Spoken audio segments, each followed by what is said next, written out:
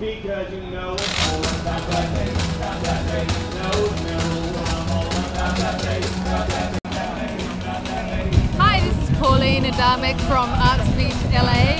Well, I just came out from a wonderful play called One Man, Two Guv'nors here at the South Coast Rep Theatre in Costa Mesa. A lot of fun, really, really funny, really silly. A lot of visual um, stunts and um, gags and miming and comedy. Um, it's based on a very famous play by Goldoni from about the 1800s, uh, Commedia dell'arte classic, and it's been revamped to be set in 1963 in Britain.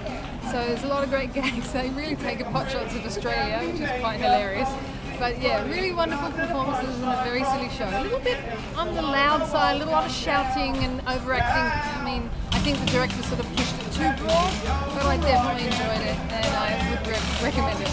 So just opened this weekend, so head on down to South Coast Rep and catch the show over the next few weeks. There's a written review coming soon on Arts Beat LA, so please check that out.